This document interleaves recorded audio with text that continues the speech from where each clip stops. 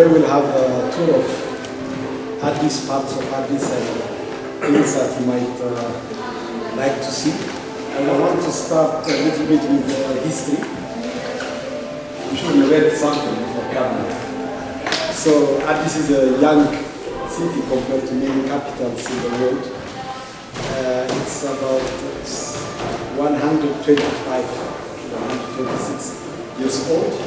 Uh, what is interesting is that this has gone through three or four main uh, what we call development phases.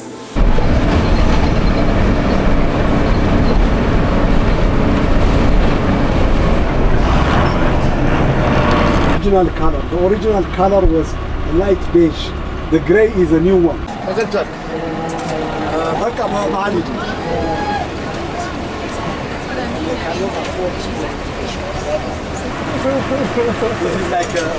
Das würde nie stehen bleiben in der Schweiz. So. Wie lang ist der? Wie, der, wie lang steht das?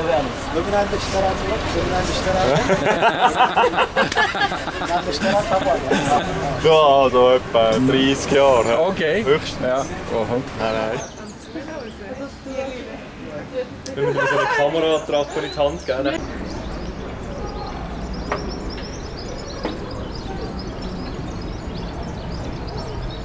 Line is like this.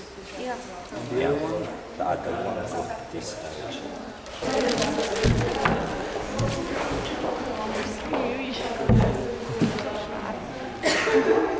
All right. Uh, we'll, we'll start. Welcome everybody again. So after the informal part yesterday, we start working today. Um, so what we will do, we'll, we'll do a little drawing exercise. Salom. Ja, nice. I like this picture. It's it's. it was drawn by Salome. My name is Zakmar Johannes. Aurelia Müttler. Kim Helmersen. Ernst Bosener. Sarah Weber. My name is Dagboy. My name is Pablo Cavillo. My name is Salama Itaku. Philipp Staudach. متكون لسنبت وتسجد رابو رافائيل إيدا ريهيوت نسول Basil Bittins. بيتينز أمانويل Samira سميرة بيتشكي Anhänung Fkadi Spanisch Dukopoulos. Melanie Imfeld Zara Gray. Salome Meckler. Vinden Pierce. Katrin Lipuner. Sasha Delz.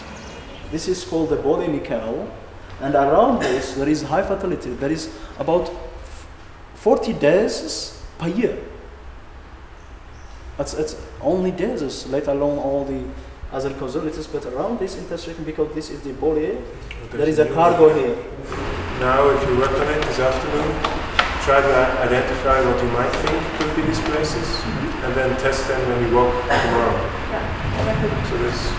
Yeah, and this afternoon, before you go, perhaps uh, write down some questions initially that you are very interested in, and then also test whether those questions are answerable, depending on where you actually are.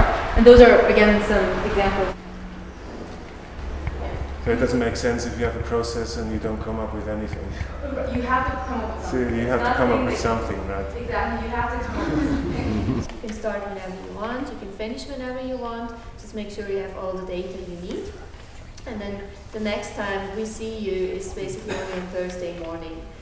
By the time we go to the site, we will identify those the, the details and then come up with some specific issues about the safety. How do we encourage people to walk, uh, decrease crowdedness, and how do we involve street hygiene? We're gonna uh, focus on these two sites. Like we select the one at Megenagna, the junction where the LRT and the, the ring road intersects. You just go. So, if, I mean, hey. you approach next station, talk to them. Pick up in there. We are here. Oh, yeah.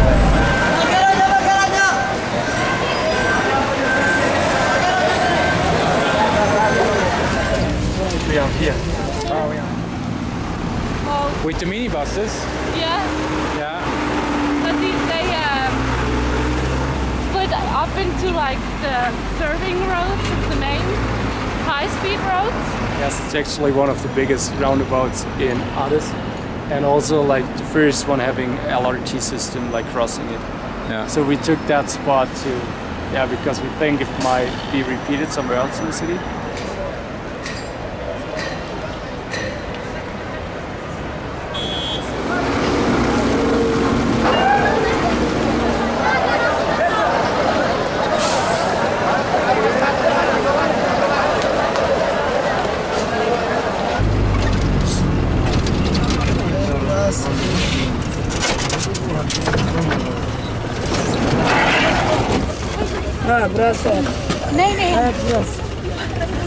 Yeah, but one is taking pictures, the other one is counting cars. So Yeah, the two of kind of them hard are like together. responsible for this. Or is there more stuff we can add, that, or things we can now leave away? I think we can add what we talked about yesterday, noise level.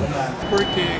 Yeah, sorry. We need our team members. Okay, go, go, go. Okay. Okay, Okay, so so we we figured out like five blocks which we want to count.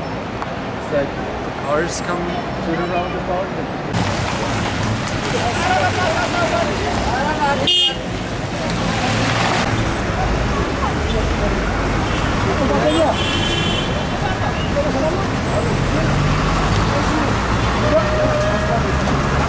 can see how it affects the pedestrian walkway. We can measure it.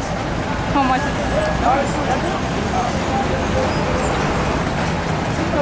Only one meter.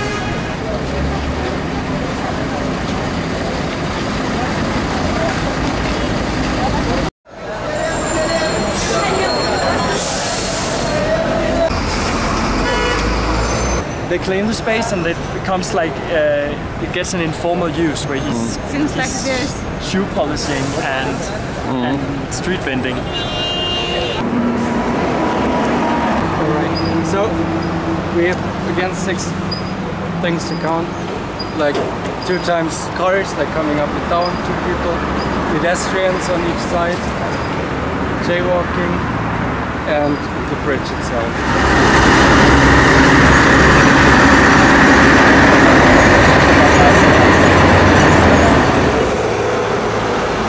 Then ba- ba- based on the directions I just count how many people are going on each direction.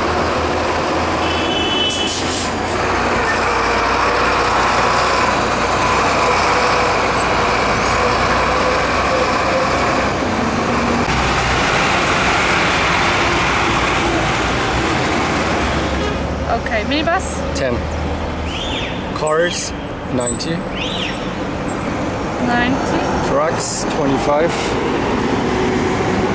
25, Official orange buses, 5. Lion, 5. Uh, Higer buses, 10. He asked him whether he uses the bridge or he wants to jump.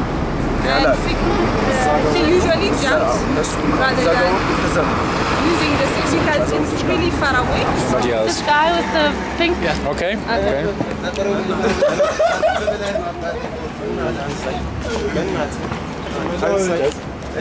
Some years, yeah, the the neighbors they they make some money. They collect money and they make it cobblestone or something. Yeah. That one I like. How about these street lights? Are they covered or do people install?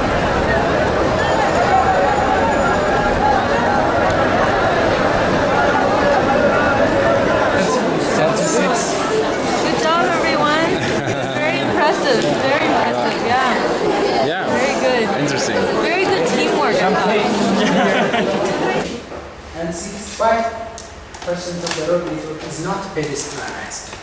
That shows policy neglect for this group of people. I think it's not the lack of idea that is the problem, because you have many ideas. I think it's the political um, state. Because, I mean, yeah, we talk about what um, kind of designs we could make for Addis, but um, who is going to realize this? And I was really wondering, like, especially when we're when we're trying to work in a different environment, in a different cultural environment, and especially after having seen like the examples of modernist from Brasilia to Chandigarh to Fordlandia, which is also something extreme. How do we know when we should like stop or where where we're like falsely assuming that this is what they want or this is what this country needs? A little Swisser at the back.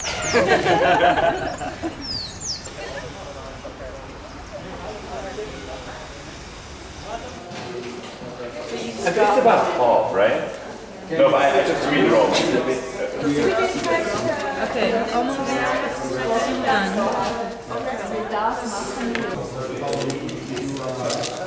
Try to, to determine, okay, this was uh, one of the sections, this was another one, and this was another one. So it's clear where it goes, because otherwise... In the three rows. People blocking the uh, work things.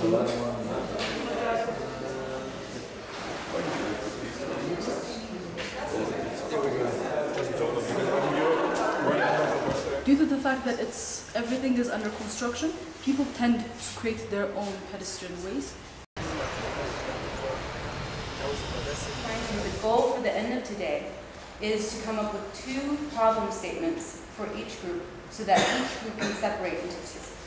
For example, if you want to be disquantitative in your describing your background, then you can say, as Basil suggested, count the number of street vendors. Not only say generally there, you know, it seems like there are some. That sounds like a very Like, it makes a lot of sense. Yeah, but when the infrastructure got built, pedestrians were kind of taking into account with a very narrow sidewalk, but street vendors not at all. Now- What I'm pushing you is to think in a system level. So pedestrians don't have enough space to walk because vendors are there, right? But that could not be, that may not be the relationship. When we walk like through these passes, when we feel unsafe, Ah, we're gonna okay. make one, and then we Okay, just great. count.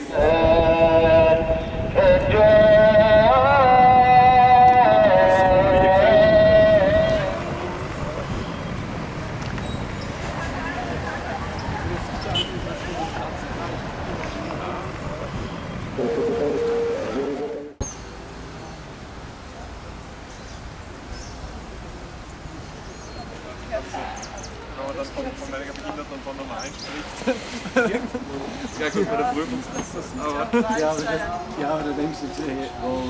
Da musst du dann ein bisschen, dann im Wording ein bisschen aufpassen. like street vendors, uh, shoe shiners, and lack of infrastructure along the way. When we go in the afternoon, it was uh, seven minutes while we were working. So we found out this is three, two difference. Yeah.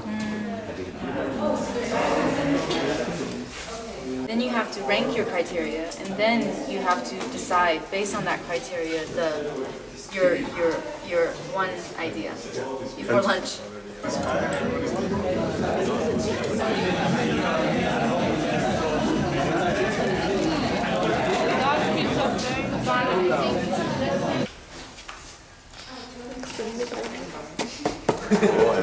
Now everybody can comment here. And uh, it is very exciting what they write in there, and they can discuss it later as well um, in the whole uh, class um, to improve actually the score during the school, but also the following up uh, project. This is this workshop is selfish because you're here to learn. You're here to enrich your own education, and that's fine.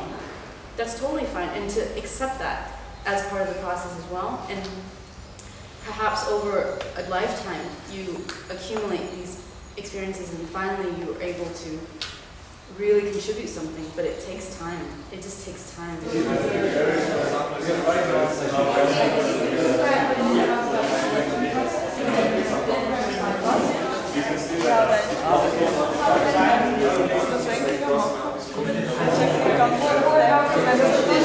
not so sure about the dat- data visualization. I mean, maybe you could just have a look at it and tell us if that's like making sense or okay. Our goal is like to improve safety because there are too many activities going on. It's like how might we increase safety by transferring is like our core goal. And then we came up like with sub goals, which is basically, yeah, what you said. Uh, how can we have a self-maintaining infrastructure? Who's implementing it? So how think about how the street vendors community that you imagine should be could be organized. You know, who's taking care of the boxes? Is the box shared by three vendors? A simple, cheap approach with these blocks. But then, like this layout of the street, Yeah. like shifting this, planting Yeah. trees, is Yeah. very costly. And these blocks, this is a safety measure already. Yeah, what is the whole intervention? What are the elements of the intervention? I mean, It's the first of all is that we want to create market attractions, and we want to, and we want to do that by um, in making shading on the on the overpass. Mhm. Uh, On the existing one. The existing one.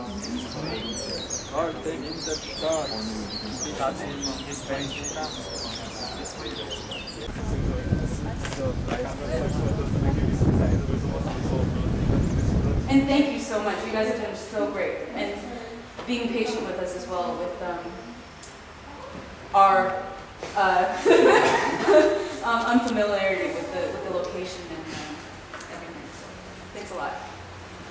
So we only have to wait for the guests. I mean, to get you nervous.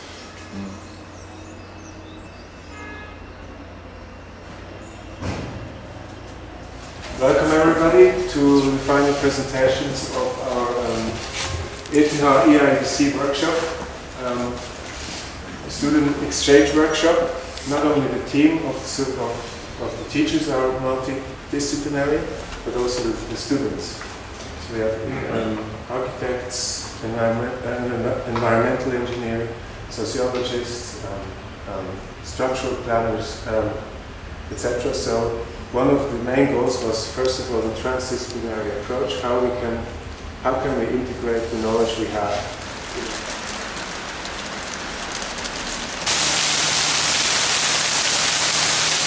And now we move out of the city center towards the so-called extension area. And uh, Doug, Eki, and, um, and Raphael will show us their research project and their results. So we focus on the street vendors, and then we just, uh, uh, based on having the background of the studies of how much spaces the street vendors need, we just propose a blocks. So these blocks they use like uh, for the street vendors, like to sell their uh, their goods on the sur- on the top surface. So it has like it's lifted upward 50 centimeter. And this is how we visualize just conceptually. Thank you. Thank you very much for this. Uh, 91% uh, of the people that jaywalks are males. And the second here shows that um, almost all of them are under 50. But one element could be maybe shading, also because it gives shelter to different weather situations, and also because it like kind of um, gives a feeling of enclosure and of space. And we think that it might attract street vendors on the overpass, yeah, and therefore, of course, also the jaywalkers.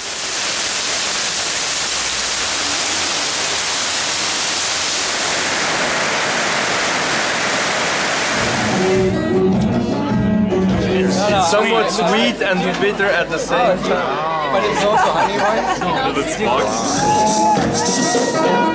wine?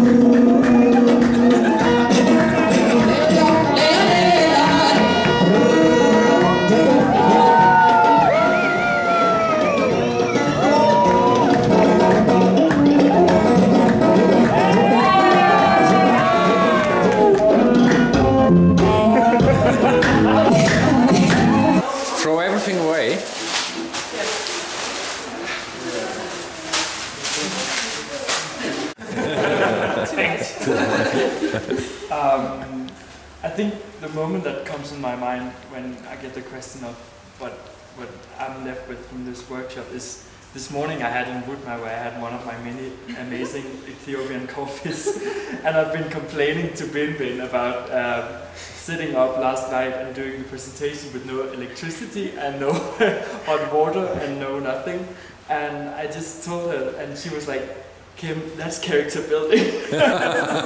like it connects us and we created something.